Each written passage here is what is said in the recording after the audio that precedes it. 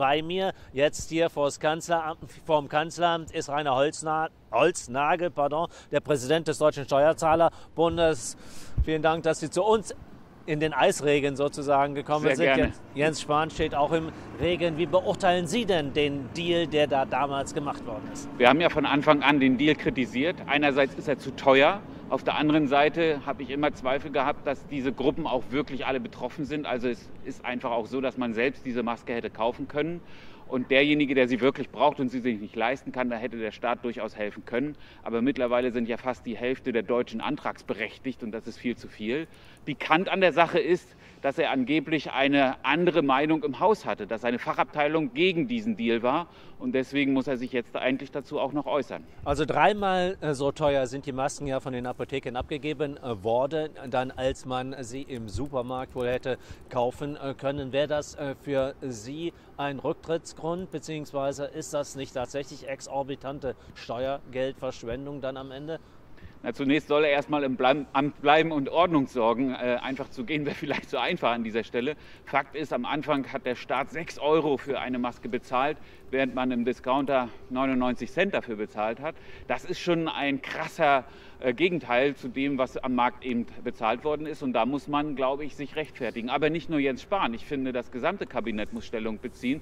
Wir sehen ja gerade ein Ping-Pong der Zuständigkeiten. Am Ende haben wir ein Corona-Kabinett. Da werden alle Maßnahmen besprochen und auch beschlossen. Also ich sehe den Finanzminister und selbst die Bundeskanzlerin hier auch mit in der Verantwortung. Ja, so ist es ja. Denn der Haken äh, gemacht worden muss ja sein dann auch vom Finanzministerium. Die Gelder müssen ja in irgendeiner Weise dann auch locker gemacht worden sein. Die kann der Gesundheitsminister ja aus seinem eigenen Haushalt so nicht einfach finanzieren. Also mit anderen Worten verteilt sich die Verantwortung auf mehrere Schultern, denn jedem war ja klar damals, dass diese Masken zu teuer sind. Wenn wir zurückdenken, die Diskussion ist ja alt. Wir wussten nur nicht so genau, wie der Einkaufspreis ist, aber einem, im Supermarkt lagen die Dinger ja schon in den Regalen zu viel billigeren Preisen. So war es. Und vor allen Dingen die Abgabe über Apotheken ist für bestimmte Risikogruppen durchaus sinnvoll gewesen. Aber wir reden ja hier fast über 40 Millionen Deutsche, die eine solche Maske bekommen können. Und äh, eine Vielzahl kann sie sich nicht nur selbst kaufen und leisten, sondern sie eben auch einfach und ohne große Komplikationen besorgen. Da muss nicht der Steuerzahler für einspringen. Aber es musste ja damals auch schnell, schnell gehen. Also das war ja die Diskussion, wir müssen schnell die vulnerablen Gruppen äh, nun äh, schützen. Die Massen sollen schnell an den Mann. War es dadurch nicht tatsächlich logisch? 40 Millionen musste man ja versorgen. Bürger, die Anspruch hatten, also mit, mit äh, doch zahlreichen äh, Masken. Also irgendwo verständlich, dass man da tiefer hat für in die Tasche greifen müssen? Ich glaube, wir haben alle sehr viel Verständnis für die Probleme am Anfang und ich glaube, dass wir auch sehr viel nachsichtig waren bei Fehlern, die gemacht worden ist.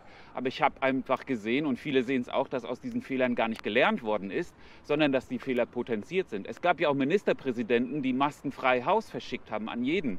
Und ich glaube, dass diese Maßnahme schlicht und ergreifend überteuert war, denn alle müssen sie bezahlen, nämlich die Steuerzahlerinnen und Steuerzahler.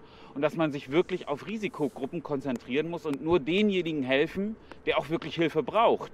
Und ich glaube, an dieser Stelle hat sich die Politik deutlich vergaloppiert. Und deswegen hätte ich erwartet, dass man aus den Fehlern schnell lernt und auch zurückrudert und wenn der Markt diese Masken billiger hergibt, dann soll der Markt das auch erledigen. Herr Holznagel, vielen Dank. Soweit also der Präsident des Deutschen Steuerzahlerbundes aus dem Eisregen sozusagen hier vom Kanzleramt.